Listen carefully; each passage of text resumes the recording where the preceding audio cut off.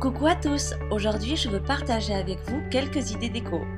Peindre des fleurs, un nuage ou des lettres, c'est pas si difficile en fait, mais on peut toujours acheter un sticker. Je commence par mélanger ma peinture car je veux aller du ton plus foncé au plus clair. Démélangé, je l'applique sur une éponge mouillée et sur le mur.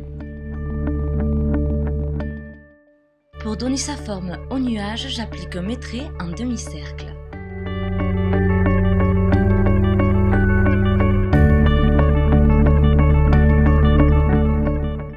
Dès que mon nuage est fini, j'apporte un peu plus de couvrance avec un pinceau dans le centre du nuage.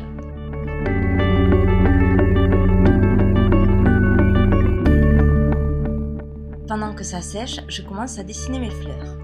Comme moi, vous pouvez prendre un modèle ou bien acheter un sticker ou calquer une image ou directement imprimer une image de votre ordinateur et la coller sur le mur. Ceci fini, je vais apporter la touche claire sur mon nuage. Toujours avec l'éponge humidifiée et avec des mouvements en forme de demi-cercle. Vous pouvez lui donner l'intensité que vous voulez. On repart maintenant sur les dessins. Comme vous verrez, j'ai choisi des tiges en spirale.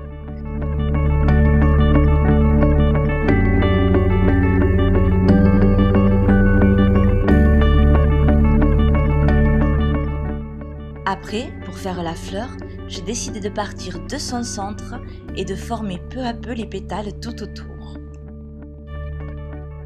Je termine avec les feuilles.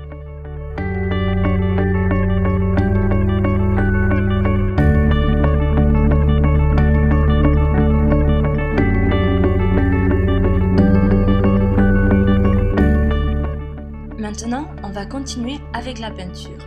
Vu que je n'ai pas trouvé les couleurs que je voulais, j'ai décidé de mélanger du vert, du jaune et du blanc. Avec ce premier vert, j'unifie la couleur base de la feuille.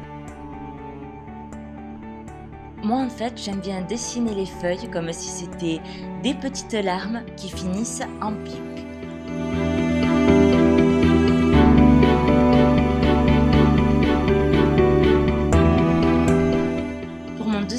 J'ai ajouté du marron et du jaune et cela va donner du relief à notre feuille.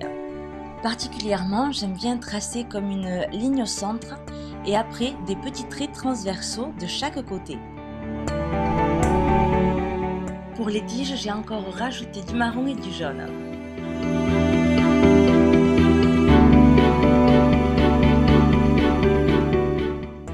Si vous dépassez euh, de votre ligne ou si vous en mettez un peu partout, ne vous inquiétez pas, on peut toujours prendre un coton-tige mouillé et le passer avant que la peinture ne sèche. Pour la couleur des fleurs, j'ai mélangé premièrement du violet, du rose, assez de rouge et beaucoup de blanc. On commence à peindre nos pétales avec cette couleur, mais on va laisser des petits espaces.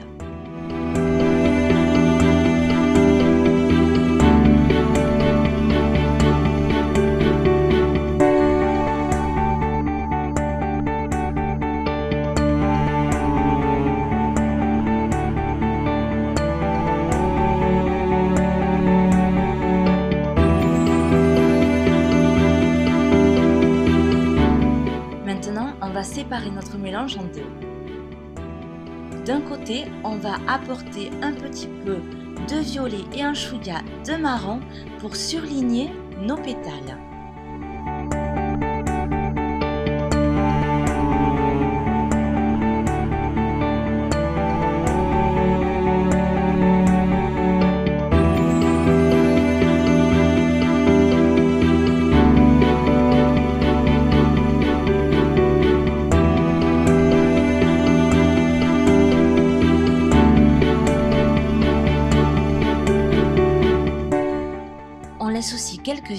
Que l'on va peindre avec le deuxième mélange auquel on va rajouter du blanc, ce qui donnera encore plus de relief.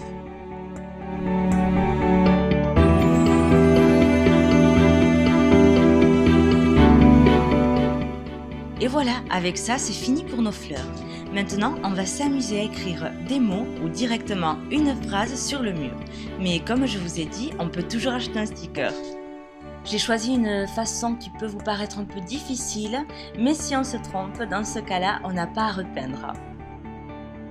Sur des feuilles cartonnées, on écrit nos mots, notre phrase, et on va mesurer les lettres pour qu'elles soient toutes de la même dimension. Après, on découpe. De toute façon, sur le blog web vericil.com, je vous laisse les différentes façons de peindre des lettres sur un mur. Après avoir tout découpé, on va peindre. Comme je ne trouvais pas un rose qui me plaisait, je l'ai fait moi-même, avec du violet, du rose, du rouge et du blanc. Pendant que nos lettres sèchent, on va mesurer l'endroit où nous voulons les mettre de manière à ce qu'elles soient bien centrées. Après, on posera des bandes adhésives qui nous quitteront et nous aideront à les positionner. Pour les fixer au mur, on utilise de la colle blanche. Pour ne pas salir le mur au cas où on s'en mettrait sur les doigts, on va utiliser du papier sopalin.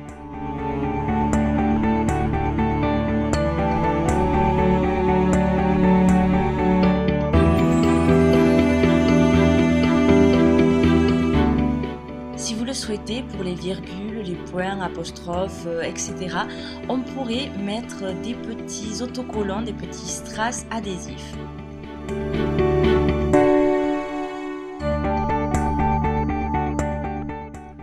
Voilà le rendu.